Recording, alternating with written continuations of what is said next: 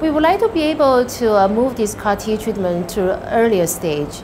You know, for example, once we know enough about the uh, efficacy, you know, we can consider moving this to uh, patients. You know, you know, first, uh, for example, after initial, after they fail induction regimen treatment, you know, after the first or second line of treatment, and we can also consider maybe use these CAR Ts you know, in a uh, maintenance or consolidation strategy in patients with minimum residual disease. You know, so patient will benefit you know, uh, much earlier on rather than waiting for them to you know, uh, had multiple prior you know, lines of therapies and really not in a good medical condition to really go through CAR T cell therapies. So make it available for more patients.